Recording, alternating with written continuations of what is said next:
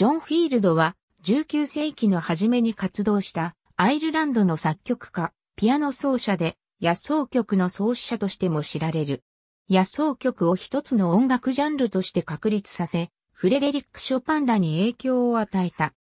また、モスクワとサンクトペテルブルクに長く滞在して、作曲、演奏活動を行い、後に近代ロシア音楽の父と呼ばれることになるミハイル・グリンカを指導するなど、ロシア音楽の発展にも大きく寄与した。ダブリンに生まれたフィールドは、バイオリン奏者の父に、ピアノの手ほどきを、また、教会のオルガン奏者であった祖父から音楽の基礎を学んだ。9歳の時に彼は、ピアノ奏者として世間への初登場を果たしたとされ、1792年からトンマーゾ・ジョルダーニの指導を受けた。1793年、11歳のフィールドは家族と共にロンドンに移住、作曲家でピアノの製造も手掛けていたムツヨ・クレメンティのもとで学んだ。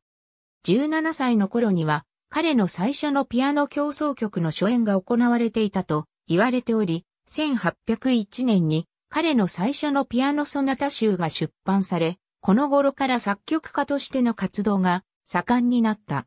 1802年7月に彼はクレメンティと共にヨーロッパを回り、パリやウィーンなど各地で名声を博した。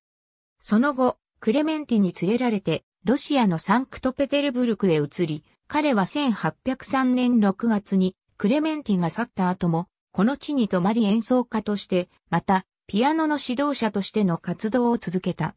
1804年に最初の公共曲を初演し、その後もロシア各地の貴族社会から熱烈に歓迎され、一時はフィールドを知らないことは罪悪であるとまで評されていたとされる。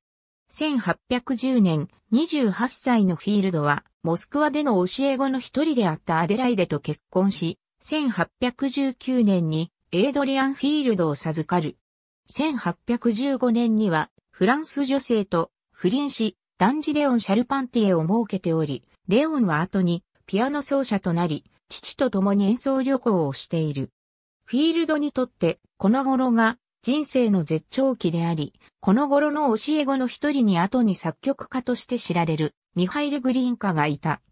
フィールドはサンクトペテルブルクとモスクワとを行き来する生活を続けていたが、1821年43歳の時にモスクワへ移り住んだ。この後の10年間はアルコールに溺れ体を壊し、また直腸癌も患い手術も行った。1831年に癌の治療も兼ねてロンドンを訪れ、1832年から翌年にかけてはパリで過ごした。その後、ベルギー、スイス、イタリアへと演奏旅行を続けるが、体調不良から王子の面影は失せ生活も急亡。ロシアの貴族、レーマノフ家の女力で、モスクワに戻り1837年に亡くなった。彼の書いた、それまでの形式にとらわれない単一楽章のピアノ作品、野草曲は、ショパンに大きな影響を与え、また、後のメンデルスゾーン、シューマン、リスト、グリーグラ、ロマン派作曲家の作品の先駆けとなった。また1808年、26歳の時にモスクワで出版したピアノ連弾曲異端調は、ロシアの民謡を取り入れたものであり、当時としては珍しいものであった。ありがとうございます。